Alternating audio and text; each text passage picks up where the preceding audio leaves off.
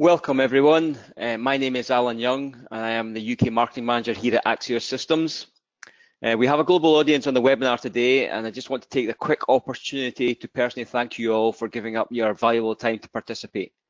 Uh, you have all chosen to attend the webinar to understand more about the Bermuda Triangle of SAM and the benefits of adopting an integrated approach to the tools and processes required to manage your assets. On the webinar, we have Laura Hare. Laura Hare is a product manager here at Axios. She will set the scene from a high-level business perspective and put some context around the partnership between both ITSM and SAM. We also have Rory Canavan. Rory is the founding consultant and owner of SAM Charter, a consulting practice that specializes in creating and maintaining ITAM and SAM processes. Interestingly, he is also a member of the Working 21 group, this is an ISO group established to create and promote ISO standards relating to IT asset, ma asset management. Rory will go on to explain the detail behind the Bermuda Triangle of SAM and offer some practical advice on how to manage this within your own organization. Last but by no means least, we have Ed Perez. Ed is a business solution consultant at Axios.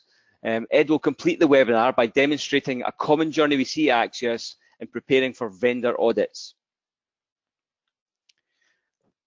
Before we get started with Laura's presentation, I'd like to take a, a, a quick a quick survey of, of the people on the call. And this is really around understanding your organization's maturity level.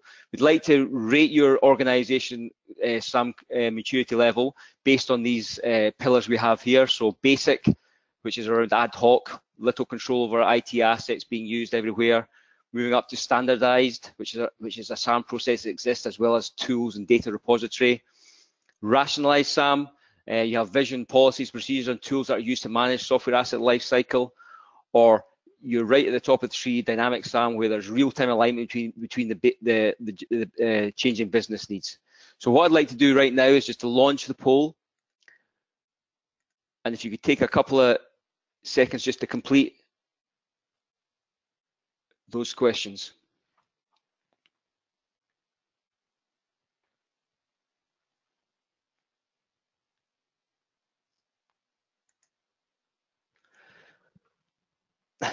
That's fantastic. Thank you very much for taking part. Interesting, we also have a free online SAM assessment tool within the organisation, which we will make available to the audience um, and the link later on uh, during our follow-up.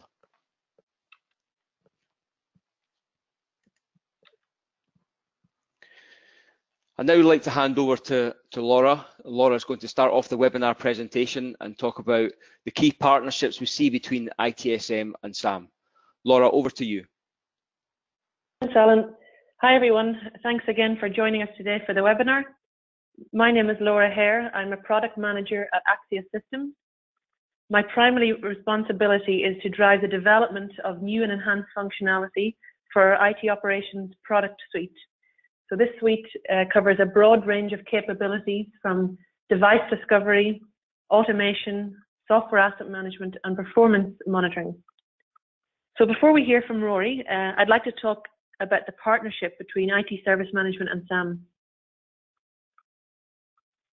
Most of you probably know Axios from the IT service management space. We've been around for uh, 30 years Highlighted in red, you can see the IT service management capabilities we offer in our solution. But bear in mind, Axios can also help you with IT business management and IT operations management, which is highlighted on the right-hand side with the green circle. So like our customers and industry analysts, we recognize the need for tight integration between IT infrastructure and the services, the business services rather, that they underpin this is what really led us to expand our product portfolio into not just device discovery, but all the other capabilities you can see in, in the purple here. So moving on, let's have a quick look at the, the challenges for CIOs today. So these are common IT challenges. As you know, the, the world of IT is changing continuously. Um, these are, I suppose, the top challenges uh, identified by CIO Weekly and what I want to do is really just talk through each of these challenges, what they mean, and, and how you can overcome them in the context of SAM. So let's start off with the, with the biggest challenge is really about going faster. So IT are expected to spin up core systems um, a lot quicker nowadays, given very little notice. They need to deliver new systems and new innovations with shorter and shorter timelines. This can be very challenging when you don't have any automation. The next challenge is all about going digital. So, you know, with the external and internal business user interactions becoming more complex, it's very difficult for organizations to stay ahead of this. A lot of end users are really expecting a quicker and more automated service. So it's very easy to be left behind and, uh, you know, become stagnant in this area. The next challenge is all about being secure. This is all about maximizing your security and minimizing the risk. As you know, the risk to IT, uh, IT security is, uh, has never been greater, so it's really important to keep these things at the forefront. Uh, you might recall there was quite a few examples last year actually. Um, I'm sure everybody remembers the WannaCry ransomware and also the Equifax data breach. So these are just a few of many examples that we're seeing today with big organizations who have failed to protect their, their IT assets and their data. The next challenge is all about breaking the 80-20 rule. So what this really means is about um, 80% of the IT budget is typically spent on the day-to-day -day running costs, and only 20% of that is about delivering innovations. So this is challenging because according to Gartner, budgets are going to be flat again. So it's going to be even more difficult for organizations to break this cycle. So what's stopping you? So if we frame these challenges within the context of SAM, what does it mean for you? Well, you have to help the CIO, but you can't go faster with manual software deployments and the growing complexity of various operating systems and software suites. The challenge of going digital, well, you need to try and fit into the digital transformation. And without proper tools and processes, you'll miss users' expectations. As I mentioned a couple of minutes ago, end users are really expecting the Amazon type shopping experience. So they can go to a, self-service portal, request the software they need to do their job, and this should be automated and delivered the same day or even the next day. We also have to try and balance this um, so users obviously want to install their own software, but we have to be careful that it's approved. They're not installing any malware and also securing the devices. And that's all really about knowing what you've got and then obviously secure it. If you don't know what's out there, you can't secure it.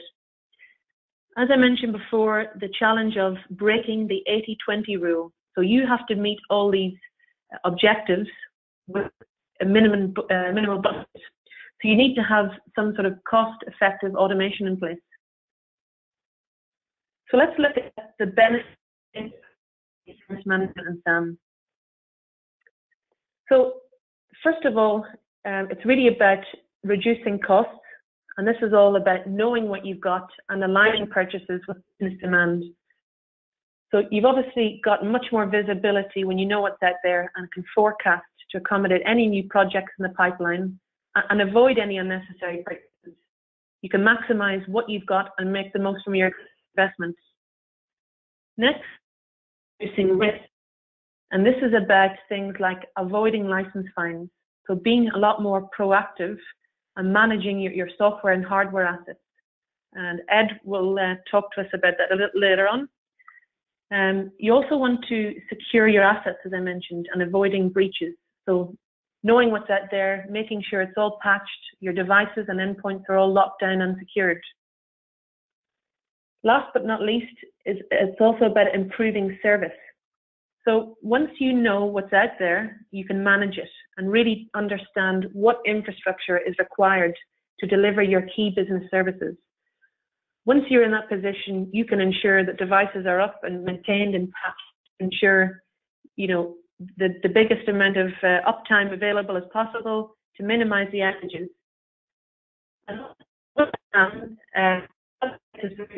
You're going out to finding all, all your hardware and software assets. This is important because this data is very, very valuable to IT service management. It underpins all your incident, problem, and change processes. So what are the Well, as an organization, you need the right people So these are people with the right skill set and expertise.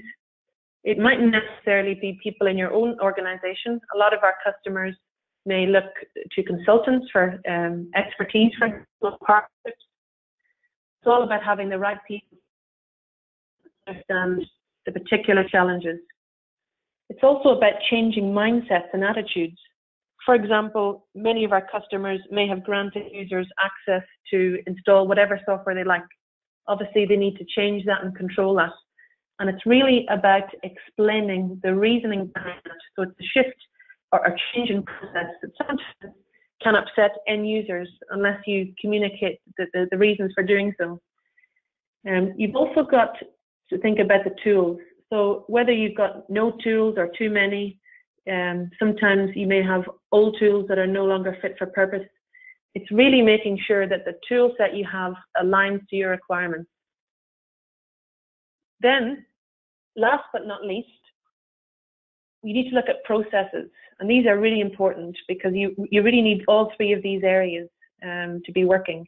You need to sure you make sure you've got policies and processes in place and that they're also aligned to your tool set as well. And, and any changes um, that you make, continuous improvement, that they're also um, adopted. So this is actually a very good, um, I suppose, chance to hand over to Rory now. Uh, Rory's going to talk a lot about this, the SAM Bermuda Triangle and the SAM processes. So I'll hand over to you, Rory. Thank you, Laura. Thanks for that. So um, hello, everyone, and thank you for taking the time out of your busy schedules to tune in today. Um, we hope uh, to highlight a particular use case in software asset management that I like to refer to as the Bermuda Triangle of SAM. So just to uh, quickly uh, run through by way of introduction what we're going to talk about today. Um, what is that Bermuda Triangle of SAM? What is it comprised of? And as we can see here, it's concerning the request of software, the procurement of software, and the deployment of software.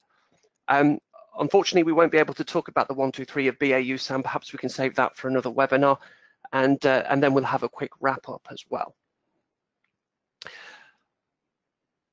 So what is the Bermuda Triangle of SAM? Well, let's let's take this particular use case, and perhaps you might be able to see some of this in your organization, um, certainly around programs or projects, um, perhaps even in business as usual. So we've got, if we can imagine, a uh, project manager and that project manager has been charged with standing up a particular service in the business. And that service is going to make the company a lot of money. Now, that service in this day and age is typically backed up by a technology stack comprised of hardware and software. Um, but being, shall we say, commercially driven, our project manager doesn't want to go through the, uh, the humdrum of business as usual processes uh, and he has his own budget. So um, we'll just get his project director or program director to rubber stamp a request for the software that will fulfill the technology stack um, and then follow ITIL best practice and actually split that request between procurement and between deployment there to save time. Now, 20 years ago, that might have been applicable because we don't actually want to wait for a receipt from a software vendor to say it's okay to install software because anything approaching um, OLAs or SLAs in regards to delivery of software would be out the window then at that point. So um, at the time, it might have been appropriate to do that. But in this day and age, we instantiate licenses from the raising of a purchase order. So perhaps there is grounds there to think that actually we don't need to split requests to save time. So let's focus on procurement.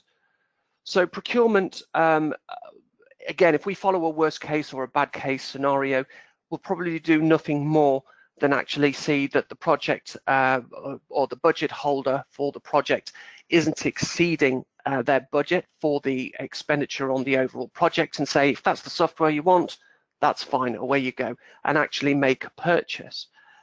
And um, because deployment actually want to be in and, and good friends with the project manager, he might be a bit of a boy, um, they'll actually think, right, okay, well, we've got this software that's been requested. We've already got it packaged.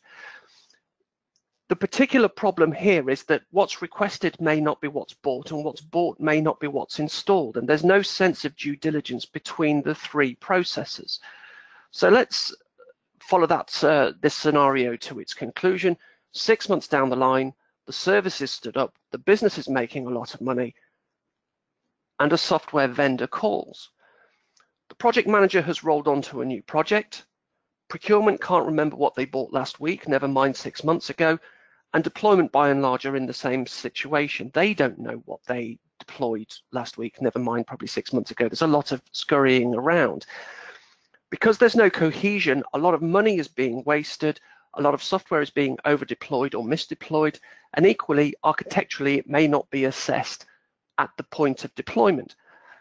And this creates then the perfect uh, storm for a software vendor audit, hence the, uh, the Bermuda Triangle of SAM. So what can we do to actually try and mitigate these risks? Um, just before we dive into the actual processes, I, I, should say that these have been modeled and are templated in a, in a modeling language called ARIS, and I'll just take you through what some of the shapes mean uh, so that when they come on the screen, um, it doesn't leave you scratching your heads.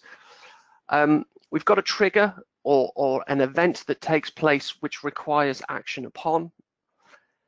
This is our manual function step, so it should go left, right, left, right then between the trigger and the manual function step then we have a supporting document in place. So if, if in the action, in the function step, we have to require uh, documentation to complete the function step, we refer to that. We have who is actually completing the role. So we have a job role or a department referenced into the function step. Then we have an application. So we might be calling upon a piece of software to complete the function step. And then we have data. Now, we can model risk. We haven't in this example. Again, if we're getting into high-end SAM and SAM process engineering, we should have a QA checkpoint because if we want to reinforce KPIs, we need to be measuring data to measure process performance.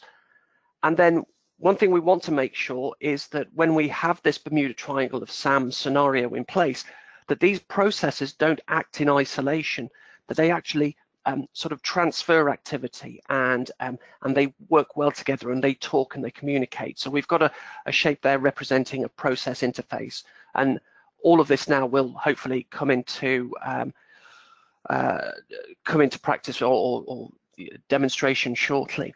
So what are we looking to um, capture when we actually create a request process in terms of best practice? we should be looking to, in some way, have line management approval, formal line, line management approval. It's not just a case of a, uh, you know, a spreadsheet with a list of software or a post-it note on a desk. Uh, we should be having a, a, structured approach there to actually requesting software. Some sort of IT due diligence to make sure that the software requested does actually meet um, the approval of IT because it could be from a network or a security or a service management requirement that we can't actually approve software. We also want to conduct a license pool check because the last thing we should actually be doing is making sure uh, or, or, just rubber stamping requests through and saying, yeah, it's fine, IT have approved it, the line manager says it's okay, bump, away you go, buy your software. It could be the software's already owned by the company. So this is the uh, the process we have for a software request process. Um, at 1.10 here, we make the software request, the end user makes the request, and they consult um, a supported software catalog.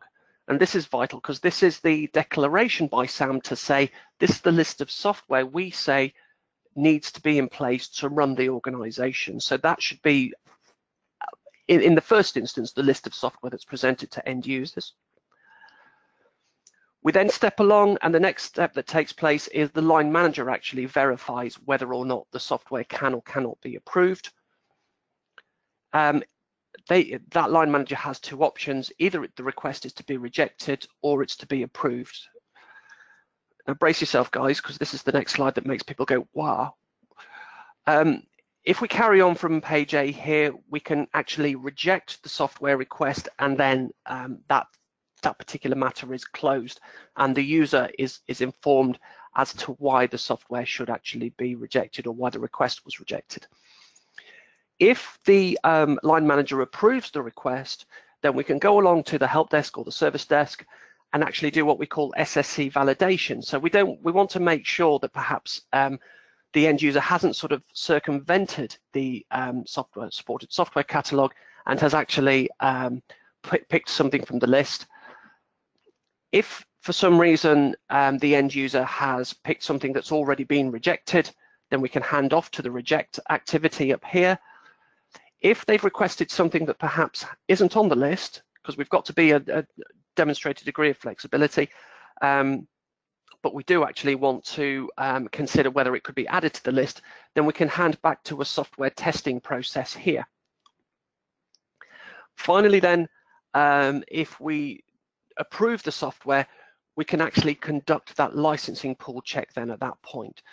Now, if the software um, is in place, we can then hand off to a software change management process, or perhaps if it's an as a service title, we can go to BYOD, a BYOD process, because we want to make sure that any platform that's engaged with is fit for purpose. If the company's bought it, fine. If the end user has brought in their own kit, then perhaps we want to validate that from a security point of view or a fitness to actually host the software. Um, and then if we don't have the software in place, then we can hand off to a, a software procurement process. From a procurement point of view, what are the best practices that we actually want to be checking? We want to make sure that the request has come through official or authorized channels because again, we don't want to get into that scenario where a nod and a wink and a post-it note is left on a on a desk and would you mind doing me a favor? We just need to buy this software. We also want to conduct our own validation and due diligence around making sure that the um, software is actually on the supported software catalog as well. So we're not sort of um, hoodwinked into buying something that shouldn't actually be approved from an IT point of view, but also perhaps do some sort of vendor validation as well to make sure that we've got a contract in place to support the purchase. And finally, of course, we need to make sure that people aren't exceeding budgets if, if budgetary concerns are, are an issue there.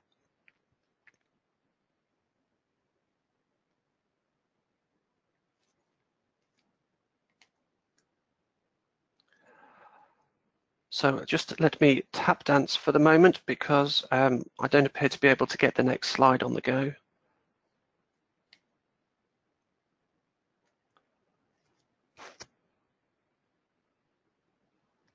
Okay. Um, Alan, are you able to help here? I, I appear to be stuck. Yeah, sure, hold on. Thank you.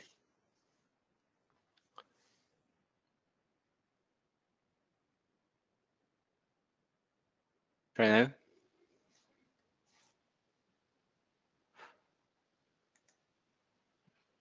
Okay, no, it's saying controlled by Ed, so I think. Uh...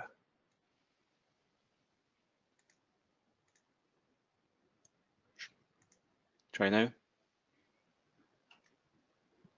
Okay, there we are. I think we're back. Okay, thank you. So off the back too of our financial and budgetary um, validation, it could be that if we hit a certain limit, do we want to pass off to an invitation to tender process as well? Because um, we want to get the best possible value through competition and actually bidding for, for a software purchase.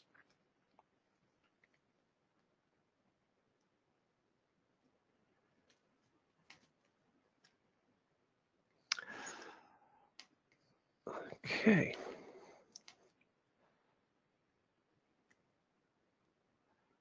Okay, there we go. For, forgive me, guys. We're, we're just um, experiencing slight lag on the presentation. So having come in from a software request process then, um, procurement go through their due diligence checks with the software request. So we've checked, we can compare against a contracts database or a vendor database, and again, the supported software catalog to make sure that we're dealing with the right vendor, um, that we've got a contract in place, and that perhaps that the software is actually approved by IT in the first place. Uh, and if there are any other sort of procurement checklists in place, then we can actually uh, import these through through data here.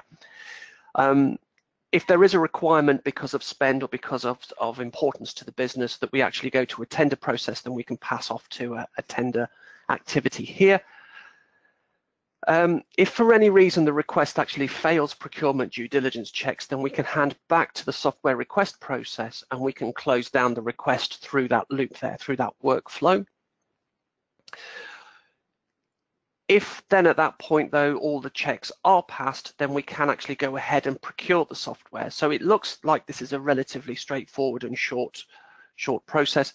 Um, one thing that, that perhaps these symbols don't allude to is the amount of time and effort that actually takes place to actually do the due diligence checks or actually go to a, an invitation to tender process. Um, but we've got one more step here, and that is then actually to take that purchase order and and give SAM the opportunity to turn that into a um, uh, into into a license. Then at that point, an instantiate a license from the purchase order, and we hand off to an entitlement importation process. So from a deployment point of view, or I think I'd possibly called it a change management perspective on, on the uh, on the slide deck uh, moving forward, what other aspects are we looking to to ensure are enshrined to make sure that we've we've mitigated risk around deployment? So again, we want to make sure that we, we validate the authenticity of the request, that it's come through um, authorized channels. It's not just a quick email saying, please install X, Y, or Z. We want to conduct some sort of architectural validation as well. So it could be that we bought a license for an on-site piece of software and then somebody says, wouldn't it be a great idea to virtualize this? Um, virtualization is very much a privilege, uh, not a right, and it's a privilege that you pay for. We want to make sure there's some proof of entitlement existence. So um, we, we, could go down that sort of old-fashioned ITIL route and wait for the proof of entitlement to rock up later. Um, again, it's it's a horses for courses um, judgment that you might want to make in that as to whether you feel that you've got a a robust enough system and process interaction in place to say that actually we're prepared to wait a day or two um, uh, and then then we can chase up the entitlement and then we wanted to conduct some sort of uh, quality assurance as well, because it could be if we're just requesting an installation for one or two instances, then that's fine. But if we're talking a rollout across an entire company, we want to make sure that we've rolled it out to the exact number of devices and no more. And if for any reason there is a problem, we want to have some sort of a rollback plan in place.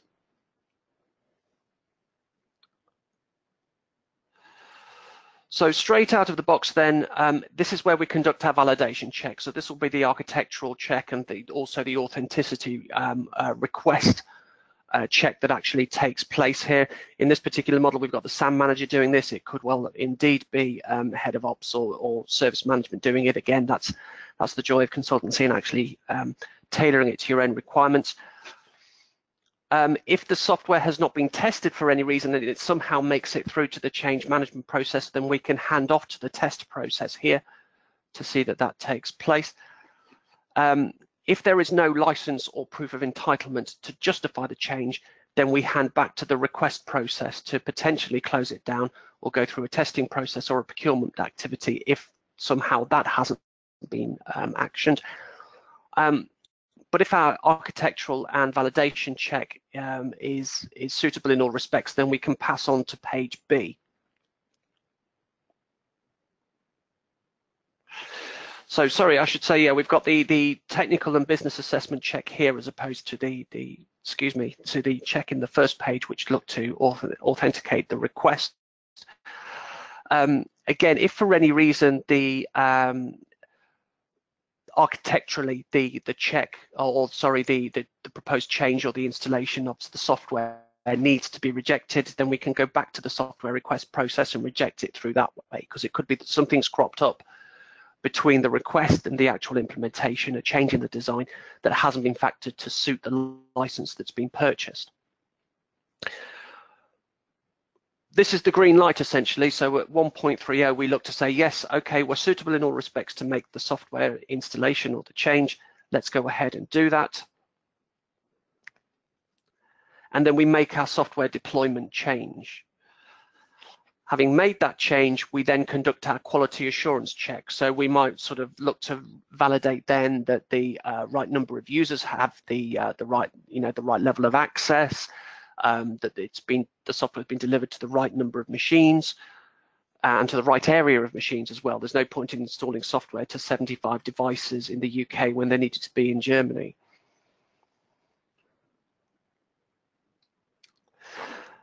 Now we'll just conduct the, uh, uh, the, the 1.70 activity here. If, if from a quality assurance perspective everything is fine and everything is happy, um, then we can go to perhaps to an end user um, acceptance trial process. If this is a new bit of software, we want to make sure that the end user is happy in all respects.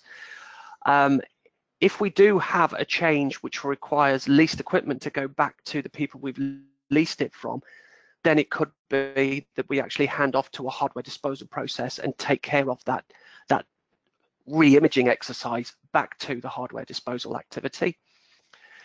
If for any reason we have a problem around deployment or, or change failure, then we've got two options. Either we can instigate the rollback plan, you know, this, this change is more trouble than it's worth and we don't want to go there. Um, let's, uh, let's go back to where we were before. Then we can go to page E. If for any reason we've got a software change that's to be repaired or updated, then we can go to page F. So page E, this is essentially a while do loop. We instigate the rollback plan. We then conduct a rollback plan review. And we keep going until such time as the rollback plan is, is actually successful.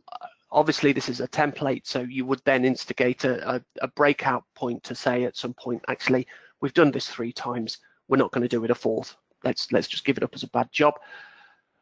But if the rollback plan does work, then we can communicate that to the, uh, the end users.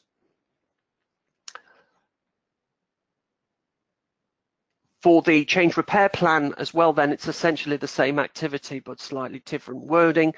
Um, we, we review the, uh, the repair plan to see how it's actually affected. Has it, has it improved or got us to an acceptable state?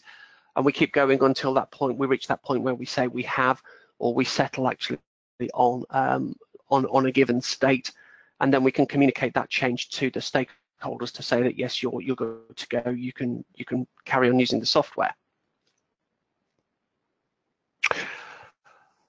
So in summary, I would say that inter-process communication is vital. I hope you, you got the value and importance of actually having those processes connecting and talking to each other. Also systems integration. So one thing we've we've talked about there is very much a workflow. We've referred to the systems that are actually used, but it could be that you want to speed data between systems, and so that's going to require connectors and um, making sure that systems have permissions to talk to each other, and that's that's a whole other topic around automation that we can we can perhaps engage in at the time.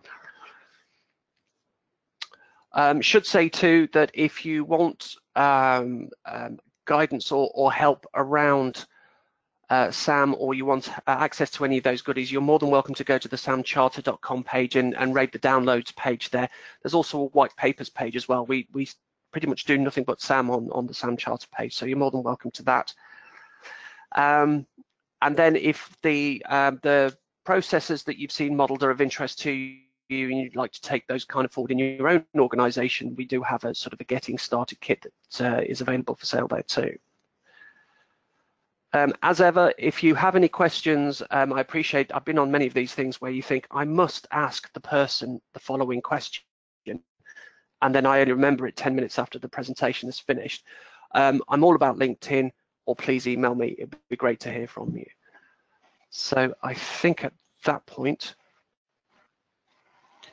Fantastic, Rory. Thank you very much for that. Uh, great insight. Um, on the point of questions, actually, um, I've been monitoring the, the uh, chat that's come through while you've been presenting your slides, and there's a, some questions that have come through. We can't do all of them, unfortunately, but there's a couple that you might be interested in. Is are you okay to answer a couple of questions? Yes, of course. Yeah, yeah, no problem. Sure. So the first question is, uh, you mentioned that the process maps are templated in nature. Is there anything you would change about them since they were first created? Oh, good question. Okay, so um, one of the things what since I created the software request process that, that has come to light, increasingly there's this, I think this concept called shift left, um, where we talk about um, sort of self-service and, and, greasing the wheels and, and um, keeping the client happy wherever possible. One thing I think off the back of the software request process, um, that hasn't really factored into anything resembling, um, as, as Laura uh, alluded to in her portion of the presentation, self-service. So um, one thing I would look to do is to have some sort of a breakout for if, if any software in the supported software catalog doesn't require the sense of due diligence to um, put in an install So your, um, you know, your desktop readers, your PDF readers, that kind of thing, and, and Skype and whatnot, and what else. Um, just go ahead and help yourself. There's no sort of workflow activity around around that kind of activity, which I'd like to see in place. Okay, nice one. Um, um, one more, and just to keep us on track. Um, apart from what you've already mentioned, are there any other processes key to SAM? Uh, oh yeah, well, I, have done a book of at least 23 of them, but um, just off the top of my head, in terms of um, of importance, I would absolutely say your recycling process. Um, in fact, I would go so far as to say you can have a recycling process ahead of your SAM program. You don't um, necessarily need to wait until uh, you generate an effective license position before you start recycling.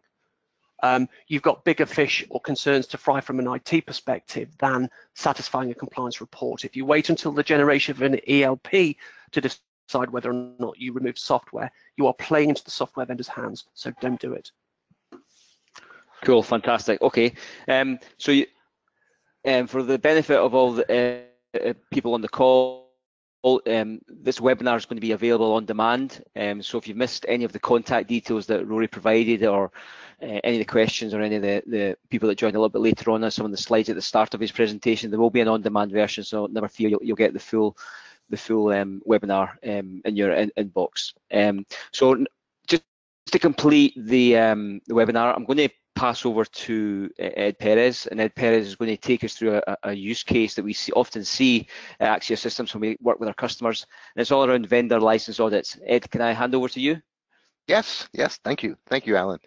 So what we're going to do is we're going to switch gears just a bit from the discussions we just had with Rory around the Bermuda Triangle of software asset management. And we're going to focus on vendor license audits. And this is an area that we see a lot of exposure today with a lot of organizations. So what we're going to talk about first off is we're going to discuss how what we're seeing out there in the market. And um, Alan, I, I seem to not have control. Could you? Perfect. Thank you. So what are some of the things that we're seeing out there in, in the world today that clients are being faced with. And what you're looking at right now are three important numbers to keep in mind. And these are numbers that have been provided to us by analysts. And, and the first number is 68%. So when we say 68%, what does that number actually relate to? Well, it's the likelihood of being audited at least two or more times. That's 68%. The next number I want to focus on is the number all the way to the right, the number seven.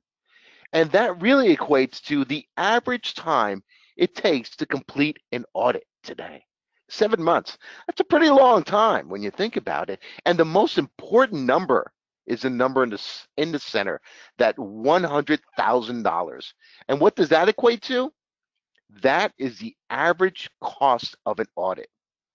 Now, when I say the average cost of, the, of an audit, that's the practice to perform the audit. It doesn't talk about the outcome of the audit. So if the outcome of the audit means that you need to purchase additional licenses or even penalties, that's above and beyond that $100,000. So when we talk about these numbers, they really equate to, you know, what is causing these numbers to, to be uh, hitting us in today's world? And probably first and foremost is unprepared. A lot of organizations today are unprepared to address these license audits. And the reason for that is they're just too busy struggling to manage their infrastructure. So when we talk about, you know, prepare for an audit, there's a lot of components that need to be in place. You have to have the data that's required to prepare for these audits, and they're all over the map. You have asset data, you have purchase data, you have contract data, license data, just to name a few. And on top of that, there's a lot of discovery tools out there. So a lot of organizations don't really mandate or structure on one discovery tool. They'll have a few. And in addition to these discovery tools, a lot are still reliant on things like Excel spreadsheets. So even if you have all that information tracked, what about the complexity of license models from these different vendors? they don't make it really easy for us to, to manage and understand. You have cow license definitions, you have user, you have site, you have core. So there's a lot of different license definition models out there in the market today. And on top of that, they're ever changing. So what can we do to be audit ready and continuously compliant? Well, if you can have all that information in a single place, that would be one good start, right? So if I can, I can optimize all my licenses and reduce overspending. Imagine if I can do all of that. And then I can apply some intelligent rules to automate the license reconciliation, automate the data gathering, and really make sense of all this information. So what we're going to do right now is we're going to go on what we call a journey. And I utilize assyst to prepare me for these vendor license audits. What are the capabilities within assyst to address that? Well, first and foremost, the first stop on this journey is realizing what you have installed. If any organization has gone through software asset management or preparing for a license audit, really you're only as good as the information you have installed within your organization. You need to realize what's out there, whether it's sitting on a Windows platform, Linux, Unix, you have to have the proper discovery tool to address that. And then once you've gathered all that information, we need to normalize it. Step two, now, when I talk about normalization, a lot of times organizations see end users renaming the software that's sitting on their desktop. So Bob may be calling it Microsoft Office, Tony may be calling it MS Office, or Mary might be calling it Office 2012. So even though they have all these naming conventions that they put in place, once I do my discovery, I need to normalize that data. I need to process that data through a normalization engine and compare that to a software library and present that information to my software asset managers. And then the next stop on this journey is step number three, reconcile all that information, right? So I've discovered it, I've normalized it, now I need to reconcile it. And how do I do that? I need to bring in license agreements. I need to bring in purchase or have a proper understanding of my license definitions. Without that, I really can't reconcile the data. But with assyst, we'll show you how. The next stop on this journey is going to be audit ready. Generate the reports that I can hand over to those vendors when they come knocking on the door for a vendor audit. So if you have this information in your back pocket, you're 100% prepared and audit ready. Then lastly on today's journey is going to be stop number five. I've done all this great data gathering, normalization, and reconciliation. Now let me optimize what I have. So if I know that I have purchased maybe 50 licenses of a particular software, but during discovery, I noticed that I have 60 licenses out there. Well, I'm not compliant, so maybe I need to start optimizing what I have. Maybe remove from Tom and give to Mary, right? Or um, maybe I need to go out there and repurchase some additional licenses. I need to optimize what I have. So with assyst, how can I do that? Let's take a look. Well, stop number one, the what's installed. With assyst, we give you a graphical representation of what you have. We give you a high level dashboard with great widgets that give you all this information from your discovery. And our dashboards give you the capability that I can go out there and maybe export that information. And I can export the information from that particular widget in any format I like, whether it be PDF, a CSV, any, any way I like. In addition to that, I can resize these widgets. I can move them around anywhere within the dashboard. Whatever is most easiest for me to consume this information is available with assyst. Well, let's take it another layer, right? I have a nice dashboard view wouldn't it be great if I had a list view? And with this list view that's provided by assyst, we, we give you all the rich information that a software asset manager is so hungry for. So we give you the host information. We give you the status by operating system, by discovery um, um, protocol used to gather the information, whether it's WMI, whether it's SNMP, whether it's uh, a shell script. Also, we give you the user, right? Who is the user on that device? In addition to inventory, discovery, and more. Also, great filtering capabilities and displaying capabilities. But if I need to provide this information to someone that's not in the office today, I can export the data and then easily email that information to someone else within the organization. Let's take a look at stop number two, the normalization of that data that's just been discovered. Once again, it's presented to you via a dashboard view.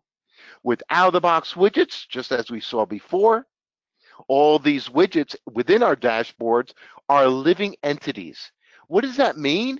That means that I can go into any bar within any of my widgets and then click on that bar and get the detailed information sitting behind that bar. Once again, I can I can modify any of my widgets, resize them, remove them from my dashboard, and of course, export it once again. And once I do that normalization, I can filter it by maybe five, top five, 10, top 10, top 15. So great capabilities with the assyst normalization capabilities. Now, once again, gather the information, discover it, feed it through the normalization engine, and then present it to your end users or managers in a dashboard view. But just like as before, I can also have what we call our list view. And then with the list view, I get that information more detailed by software name, product, vendor. I can change the type. Maybe I want to see my commercial licenses, my freeware, open source. I can filter all that information for me. And we give you an install count. And we don't stop there. With assyst, I can click on the install count and actually get a list of all the devices that are running this one particular software. Next stop on the journey is the reconciliation, right? So with assyst, we give you the capability to pull in your license agreement data. We can pull in the purchase order information, the license definitions. We can bring that in from any external sources, or better yet, build it right within assyst. So have a single consolidated solution to handle all of the above. When I run it through my reconciliation engine, I then get these dashboard views, just like we saw before. But now we're focused on compliancy of my software and my contracts. The high level view that management really needs to have at their fingertips. The next layer to reconciling that data is what we saw before, right? A list view. Now I can have this list view presented to me by business units. Once again, I can filter it. Right now, I want to look at all the software that's non-compliant. And I can see the violations here. I also give you purchase information, overspending, and maybe any shortfalls. And on top of that, once again, these reports are live. So I can click into, let's say, use quantity, and I'll I'll get a list of all the all the devices that this software is installed on that are not compliant. And on top of that, with assyst, we'll give you the reason why they're not compliant. All available once again on that consolidated single solution.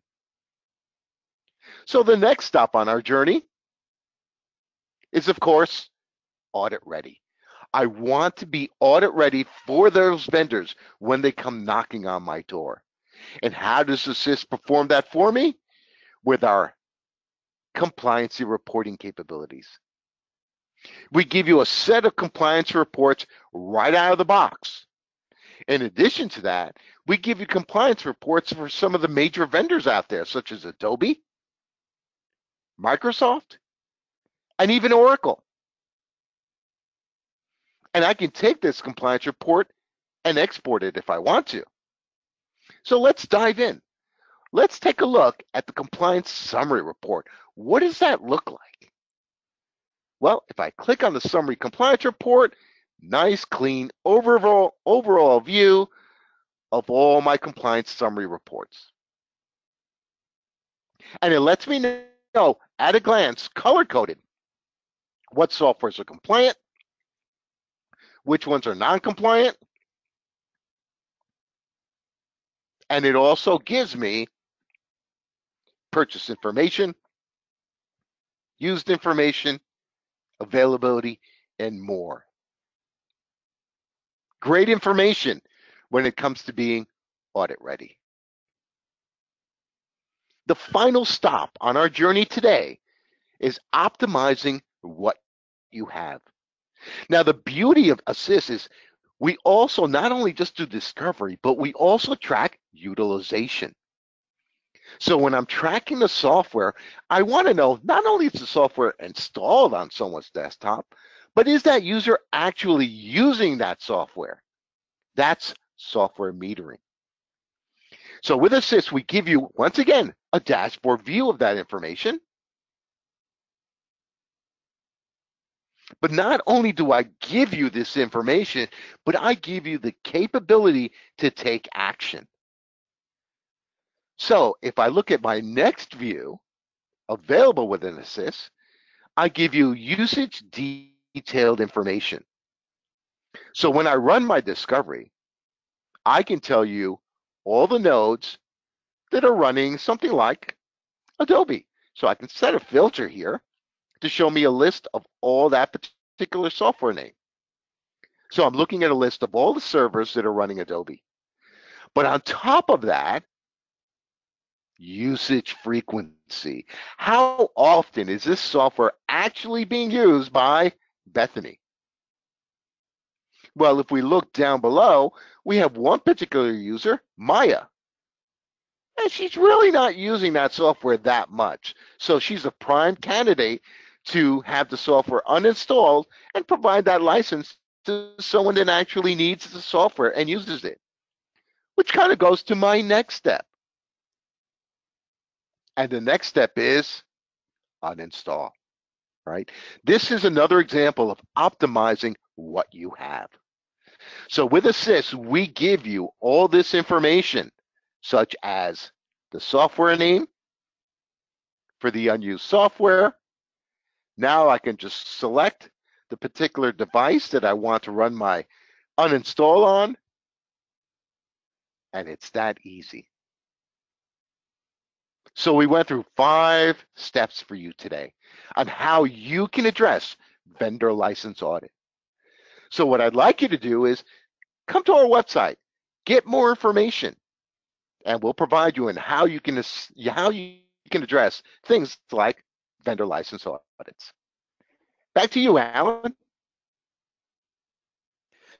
Fantastic, Ed. Thank you very much. Um, uh, I know we're moving really quickly towards the full completion of the hour. Um, there have been some questions come in, Ed, um, from the audience. Uh, I'm going to pick one. It was the kind of the first one that came through, but it seems really relevant. So I hope you don't mind if you can, if I can answer one more question before we wrap up today. Would that be okay? Absolutely. Yeah. So this comes in. Um, uh, really great question.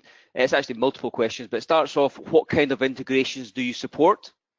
Where does user info come from? Active, Direct, Active Directory, for instance, and does assyst require its own discovery agents? Um, I don't know how you want to break that down, but maybe we start off at what kind of integrations do you support? I'm presuming with other um, discovery tools. Yes, yeah, so what we're able to do is we're able to pull in all this discovered information and then populate our CMDB. And once we populate that CMDB, now we can provide that information, all this discovered information, to the help desk organization. And if the user is using any other help desk, I'm sorry, any other discovery solutions, they can pull that information into our CMDB. So now not only do you have our discovery information, but you also have any third party discovery information.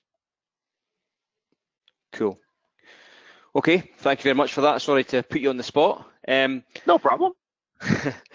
uh, so that concludes the webinar um, for today. There are some unanswered questions on the chat window. Um, in the interest of obviously coming off the webinar and letting everybody get on with their day job, we'll get back to everybody that's uh, that's um, posted a question. Um, myself, um, Ed, or Laura will personally get back to you and answer those questions. But I'd like to take the opportunity to thank you very much again for attending. There will be an on-demand version available, um, and we'll include the link to the free SAM assessment tool, um, and hopefully we can um, we can speak again.